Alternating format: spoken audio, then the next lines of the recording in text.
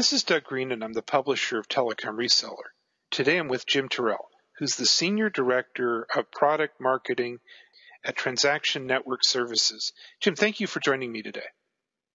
Doug, it's great, great to be on your podcast. So, first of all, what is Transaction Network Services? Great question. So, Transaction Network Services, just like the name, it, it, it, it connects communities of interest to process transactions in the payment, financial, and, and telecom industry. So if you're making a point of sale transaction or ATM or looking to, uh, you know, interact with the financial markets, that's what we do in the fintech space. and the telecom space, uh, transaction network services or TNS, um, we see over a, a billion call events daily and provide robocall detection to leading U.S wireless and wireline carriers.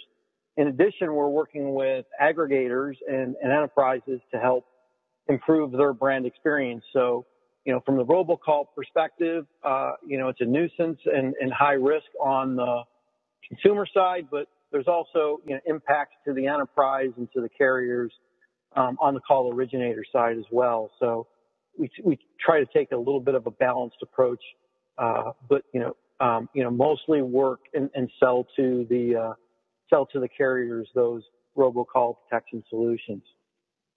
Well, Jim, this is a really t- timely topic. It's a hot topic. Everyone's talking about robocalling, and maybe you can update our listeners on the latest carrier industry policy and legislative developments with robocalls that our listeners would want to know about. Yeah, sure. So the FCC has been pretty vocal uh, on several different fronts. Uh, they've asked for a call framework called STIR/SHAKEN, um, strongly encouraged by Chairman Pai to the tier ones. In fact, he sent a letter to all of the, the tier ones asking them to uh, implement it and make progress on it this year. Uh, he's also, you know, sent letters to several tier two and, and regional VoIP carriers to help uh, cooperate in the traceback efforts uh, to curb illegal spoofing. Um, in addition, Commissioner Rosenworcel has urged tier one carriers to provide free robocalling blocking tools to to their subscribers.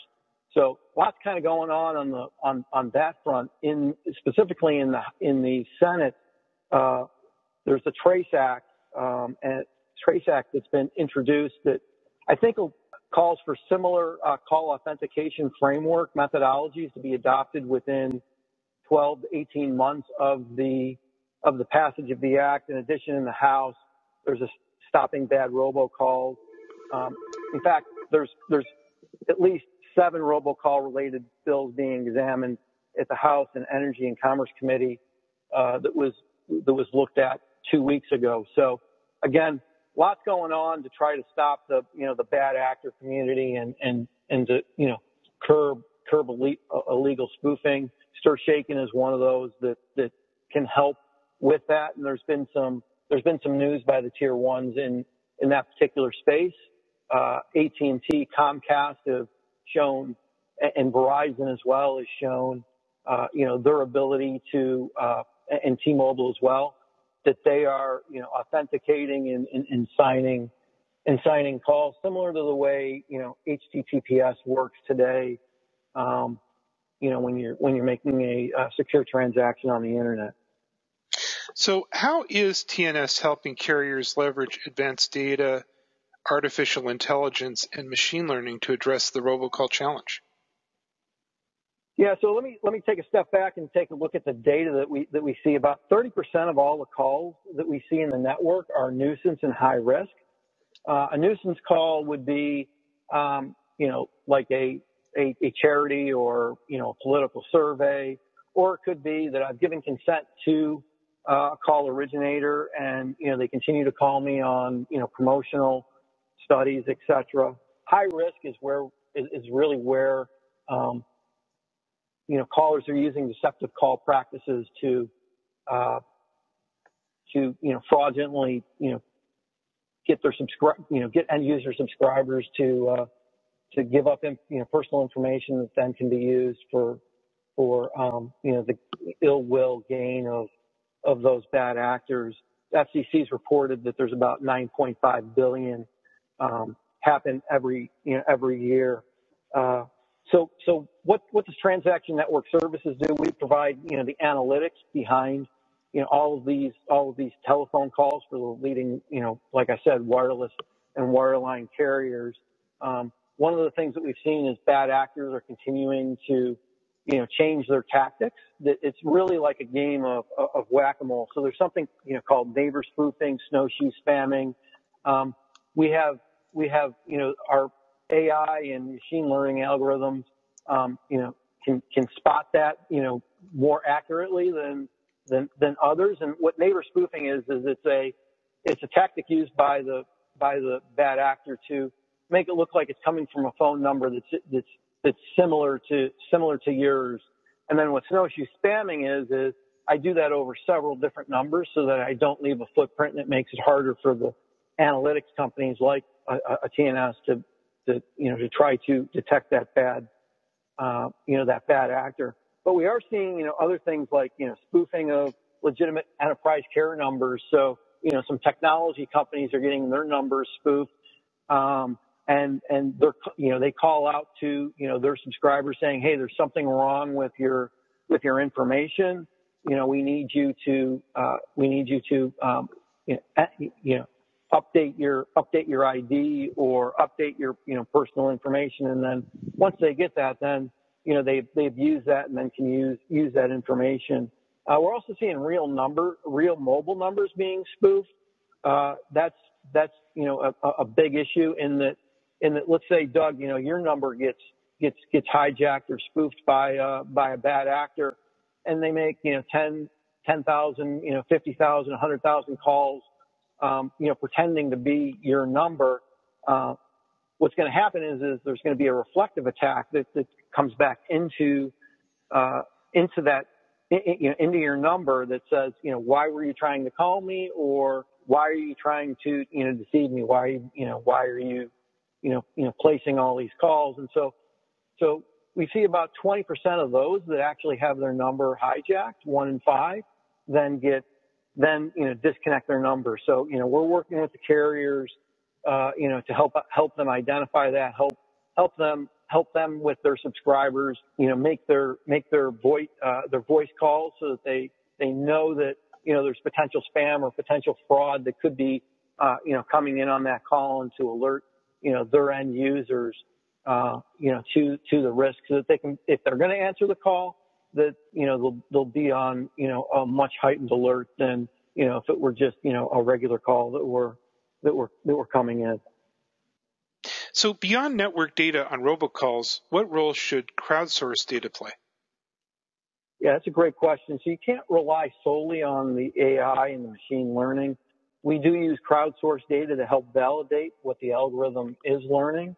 Uh, and, you know, it's good to rely on the, on the wisdom of the crowd. If we have something wrong, for example, a false positive, we can use this, the data that, that we're getting from, from the crowd, uh, to improve that. So, you know, we do have a team of data scientists that, you know, identify trends and can identify real-time spoofing and, and enhance, you know, the natural language processing of, of what we see in the crowdsourced data to help us, you know, learn even more. But again, that crowdsourced data, you know, really validates and confirms, um, you know, what, you know, what our algorithm is seeing. So that, so that does help. And you do want to rely on the wisdom of the, the crowd beyond, you know, AI and, you know, machine learning. So it sounds to me like it's not just simply a consumer problem, although it certainly is a consumer problem, that businesses are also being impacted and that uh, it could have a, a an impact on everything from firm reputation to dependability to even bottom line.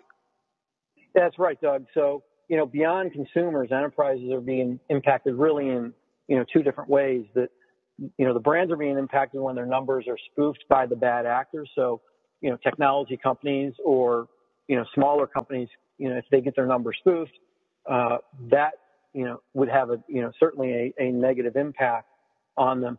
Secondly, consumers aren't picking up the phone calls anymore. Uh, we've seen a, you know, a significant drop in the contact rates. You know, the call originators would, would, would subscribe to that as well. They've seen, you know, you know, somewhere around a 20% drop. and so the productivity of their call center agents is certainly certainly dropped. Um, it's harder to get a you know harder to get a hold of somebody, you know, even on a legitimate business call.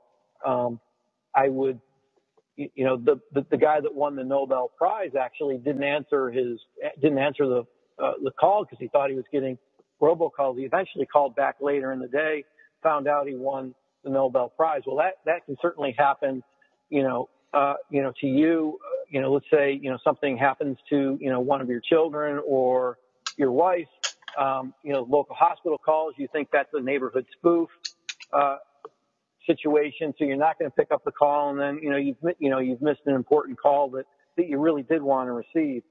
So, um, you know, one of the things that we're doing and, and working with a couple of tier two carriers is we're trying a, trialing a concept called branded calling that will give rich communications to the mobile handset. Uh, you know, it'll, it'll, you know, can display a logo. It can display other things, you know, that I'm, you know, I'm Home Depot and I'm, uh, as an example, and I'm, you know, calling about, you know, a recent order that you placed.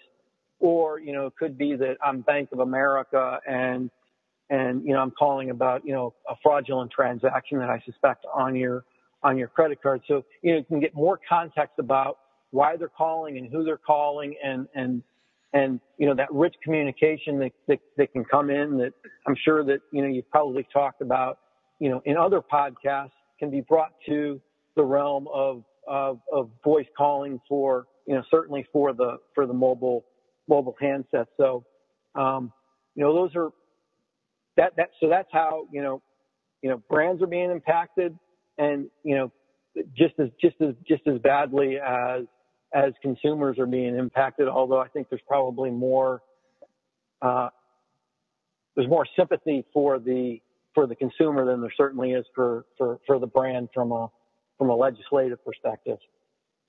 Now, Jim, earlier in the podcast, you mentioned StirShake, and so maybe you could explain to us a little bit more about what it is and what it means to both the consumer and business community.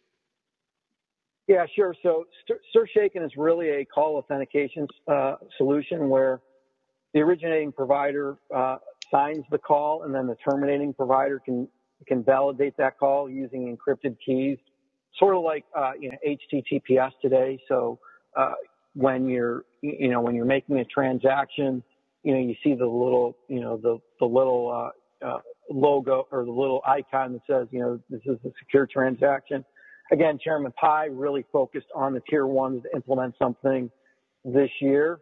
Uh, and we see, you know, 70, you know, almost 75% of the traffic from the tier ones um, come from, you know, generate the volume of calls, but they really only see, we only see about 13% of the negative calls coming from them. So, um, so with, with StirShaken, as we see the, as we see that that starts to get implemented more by the tier ones, we think the bad actors will most likely shift to spoofing, you know, tier two, tier three numbers. Uh, there's there's a couple of other things that, that StirShaken doesn't address, so it you know it won't address the legitimate spoofing of enterprise numbers. So I know you've got call center uh, uh, folks that they're going to listen to the listen to the podcast. They're going to spoof you know legitimate numbers, um, you know, so that they can uh, you know be the brand you know to call out. Well, uh, you know, that's a legitimate, legitimate case of, you know, StirShaken, you know, that could, could potentially, could potentially, uh, uh, fail. So, you know, again, uh, you know, we'll see the, we'll see the robocall solution, uh, improve as STIR/SHAKEN gets more widely deployed in the U.S. The other thing is, is that, that within the SIP header, there's a, there's this concept of uh, uh an origination ID that'll then help with the traceback efforts so that the FCC, the DOJ, uh, can then, you know, try to identify where that bad traffic is coming from and, and then they can, you know, work with that particular, uh, provider to, you know, identify, you know, who the, who the originator of that particular call was. So, um, you know, lots of good things I think will happen with StirShaken. Uh, you know, it'll be similar to, uh, similar to, you know, uh, uh, secure transactions that occur on the, on the internet today. So, um, you know, 10 years ago, you weren't sure what was happening with that. And, and, and now, you know, lots of transactions obviously happen over, over the internet. Same thing I think is going to happen with with STIR/SHAKEN as it as it gets deployed. So I want to bring uh, TNS back into the picture here, Jim, and, and maybe you can explain to me how through this uh, type of environment you're steering your clients. Yeah, so you know TNS is is you know working again with the with the larger carriers to help them uh, with with STIR/SHAKEN. That'll be just one more parameter that we'll use in our analytics engine to help us uh, to help help them help their subscribers understand what more of the intent of the call is. Uh, again, we, we analyze, you know, billions of billions of call events, whether it be, you know, through SSS, uh, SS7 signaling, whether it be through our, you know, network routing directory that we have, or our uh, LTE roaming hub that we provide um, for the Competitive Carriers Association.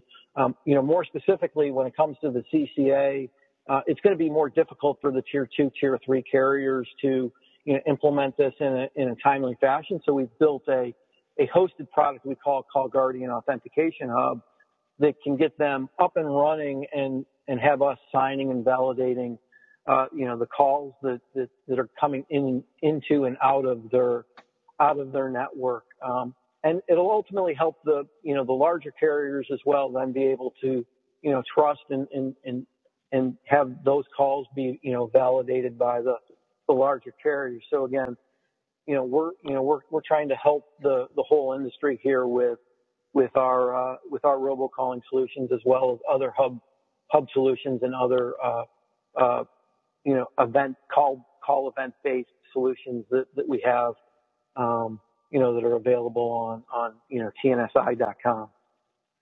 And I understand you do have some other products that you're uh, working on to help uh, companies improve voice calling.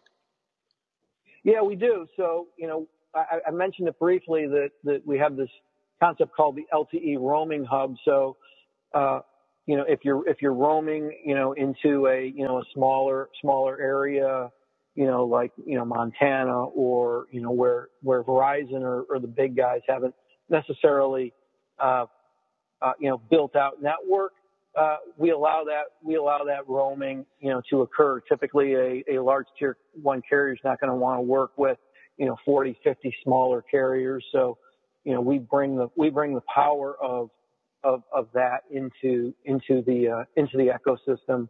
Um, you know, we help them, you know, with their with their international terminations uh, as well. So we know, you know, you know, if if if a if a smaller carrier uh, has a subscriber that wants to go to, you know, Mexico or to Canada or to the Caribbean, you know, they can continue to get those same rich services that they would expect in their, in their, in their local area, um, extended out, you know, on an international basis. So we're continuing to build, you know, multilateral agreements, um, you know, through our roaming hub and, and, and through, uh, through those types of services that, that um, you know, otherwise wouldn't wouldn't happen. So, Jim, you know, as we as we close our, our podcast today, and thank you for a big overview on this huge topic of on robocalling um, and trying to mitigate robocalling. You know, I've been hearing some some people talking about STIR/SHAKEN and the feeling that, gee, you know, maybe it's adding expense to the wrong side, um, and that it, it will make some operations fairly difficult for some of the companies in our market. Yes, yeah, so that's a that's a valid concern. Certainly for the for the tier two and tier three, we hear them talk about that. Uh, you know, but you know, again, 30% of the calls that they have that are traversing their network are negative calls. There's a certain number then, uh, you know, of that. About 5% of of the negative calls, you know, are calls that they could they could block block uh, that the FCC has given them permission to. So, you know, they could reduce their, you know, they could reduce their, their trunk size. They could reduce the number of trunks. Um, so it could be a cost savings from that perspective.